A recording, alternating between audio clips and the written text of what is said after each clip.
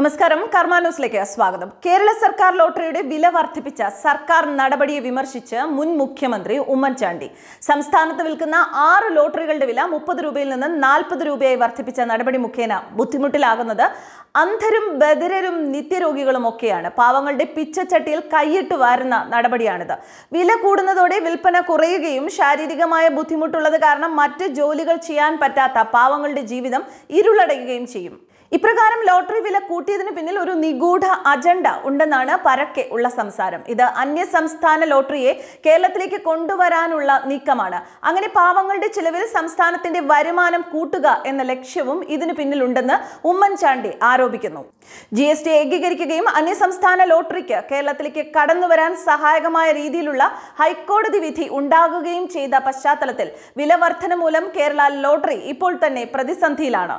തളർന്നു നിൽക്കുന്ന കേരളത്തിലെ ലോട്ടറി വിപണിയെ വിഴുങ്ങാൻ ഭീമാകാരത്തോടെ അന്യ സംസ്ഥാന ലോട്ടറി തയ്യാറായി നിൽക്കുകയും ചെയ്യുന്ന കാഴ്ചയാണ് ഇപ്പോൾ കേരളത്തിൽ കാണാൻ സാധിക്കുന്നത്. അതിന് ഇനി അധികം നാളുകളില്ല. കേരള ലോട്ടറിയുടെ വില നാൽപ്പത് രൂപയാക്കിയപ്പോൾ മിസോറാം ടിക്കറ്റ് മുപ്പത്തിയഞ്ച് രൂപയ്ക്കാണ് കേരളത്തിൽ വിൽക്കാൻ പോകുന്നത്. ലോട്ടറി രാജാവ് മാർട്ടിനുമായി ബന്ധമുള്ള West Bengal lottery stockists syndicate G S T registration സംസ്ഥാന ജി എസ് ടി ഓഫീസിൽ നൽകിയ അപേക്ഷ നേരത്തെ തള്ളിയിരുന്നു. ഇതിനെതിരെ അവർ ഹൈക്കോടതിയെ സമീപിച്ചു. പുതിയ അപേക്ഷ നൽകാൻ ഉത്തരവ് നേടി. ചില സാങ്കേതിക കാരണങ്ങൾ ചൂണ്ടിക്കാട്ടിയാണ് ജി എസ് ടി ഓഫീസ് അപേക്ഷ തള്ളിയത് എന്നറിയുന്നു. അവ പരിഹരിച്ച് പുതിയ അപേക്ഷ ലഭിച്ചാൽ അവർക്ക് ലോട്ടറി വിൽപ്പന നടത്തുന്നതിനുള്ള പാത സുഗമമായി മാറും.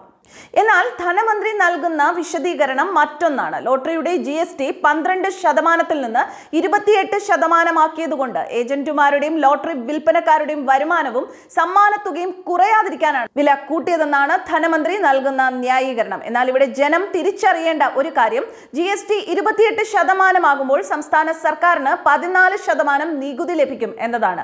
അത് തന്നെയാണ് ധനമന്ത്രിയുടെ ഉദ്ദേശവും. രണ്ടായിരത്തി പതിനെട്ട് പത്തൊമ്പതിൽ ജി എസ് ടിയിൽ നിന്ന് അഞ്ഞൂറ്റി അമ്പത്തിയഞ്ച് കോടി രൂപയാണ് ഖജനാവിലേക്ക് ലഭിച്ചത്. ലോട്ടറിയിൽ നിന്ന് ആ വർഷം ആയിരത്തി അറുന്നൂറ്റി എഴുപത്തി ഒൻപത് കോടി രൂപ അറ്റാദായവും കിട്ടി. ലോട്ടറി ടിക്കറ്റിന്റെ വില കൂട്ടി ആദായവും ജി എസ് ടി വരുമാനവും കൂട്ടുക എന്ന ഒരു വെടിക്ക് രണ്ട് പക്ഷി എന്ന നയമാണ് ധനമന്ത്രി സ്വീകരിച്ചിരിക്കുന്നത്. ഇടത് സർക്കാരിന്റെ ചരിത്രം പരിശോധിച്ചാൽ അന്യ സംസ്ഥാന ലോട്ടറിയുമായുള്ള അവരുടെ അഭേദ്യമായ ബന്ധം തെളിഞ്ഞു കാണാം. യു ഡി എഫ് സർക്കാർ മാർട്ടിനെ കേരളത്തിൽ നിന്നും കെട്ടുകെട്ടിച്ച ശേഷം ഇടതു ഭരണകാലമായ രണ്ടായിരത്തി പതിനെട്ടിൽ മാർട്ടിന്റെ പരസ്യം പല ഇടതുപക്ഷ ചായവുള്ള പത്രങ്ങളിലും പ്രത്യക്ഷപ്പെട്ടു. ഇരുപത്തിയെട്ട് ശതമാനം നികുതി ഏർപ്പെടുത്തിയാൽ അന്യസംസ്ഥാന ലോട്ടറിക്കാരുടെ കേരളത്തിലേക്കുള്ള വരവ് തടയാം. എന്ന ധനമന്ത്രിയുടെ വാദഗതി പൊളിച്ചുകൊണ്ടാണ് പരസ്യം വന്നത്. മാർട്ടിനെ നിയമപരമായ വഴികളിലൂടെ കൊണ്ടുവരാൻ സർക്കാരിന് ബുദ്ധിമുട്ടുണ്ട്. അതിനാൽ സർക്കാർ വളഞ്ഞ വഴി തേടുകയാണെന്നും മുൻ മുഖ്യമന്ത്രി ഉമ്മൻചാണ്ടി കുറ്റപ്പെടുത്തി. ഖജനാവിലേക്കുള്ള വരുമാനം കൂട്ടണമെന്ന് സർക്കാരിന് തോന്നുന്ന അവസരങ്ങളിലെല്ലാം സർക്കാർ മദ്യത്തിനും ലോട്ടറിക്കും വില കൂട്ടാറുണ്ട്.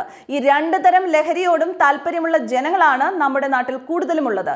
ഇവരുടെ പോക്കറ്റിൽ കൈയിട്ട് വരാൻ അതുകൊണ്ട് തന്നെ എളുപ്പവുമാണ്. ഇവരെയാണ് മാറി മാറി വരുന്ന സർക്കാരുകളെല്ലാം ലക്ഷ്യമിടുന്നത്. മദ്യത്തിന് വില കൂട്ടിയാൽ ആരും ചോദിക്കില്ലല്ലോ. ചോദിച്ചാൽ വില കൂട്ടുന്നത് വഴി മദ്യപാനം കുറയുമല്ലോ എന്ന ന്യായം സർക്കാർ പറയും. അതേ സർക്കാർ തന്നെ ഒരു മാസം ഒന്നെന്ന കണക്കിൽ മുക്കിന് മുക്കിന് ബാറുകൾ തുറന്നു കൊടുക്കുകയും ചെയ്യുന്നു. ആകെ ജനസംഖ്യയുടെ മൂന്നിലൊന്നും ലോട്ടറിയുടെ പിന്നാലെയാണ്. ഒരു ദിവസം സംസ്ഥാനത്ത് ഒന്നേകാൽ കോടിയോളം ടിക്കറ്റുകൾ വിറ്റുപോകുന്നു എന്നാണ് ലോട്ടറി വകുപ്പിന്റെ കണക്ക്.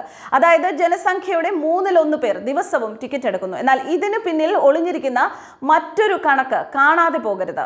സംസ്ഥാനത്ത് ലക്ഷക്കണക്കിന് പേരാണ് പത്തോ പന്ത്രണ്ടോ സീരീസുകൾ ചേർത്ത് ഒരുമിച്ച് ടിക്കറ്റ് എടുക്കുന്നത്. മുപ്പത് രൂപയുടെ പന്ത്രണ്ട് ടിക്കറ്റുകൾ എടുക്കുമ്പോൾ മുന്നൂറ്റി അറുപത് രൂപയാണ് ചെലവ്.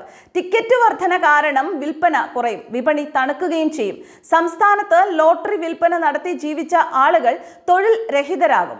അങ്ങനെ മൊത്തത്തിൽ ലോട്ടറിക്ക് വില വർദ്ധിപ്പിച്ചത് മൂലം കഷ്ടത്തിലാകുന്നത് ഈ മേഖലയെ ആശ്രയിച്ച് ജീവിച്ച പാവപ്പെട്ടവർ തന്നെയാണ്. News desk Karma news.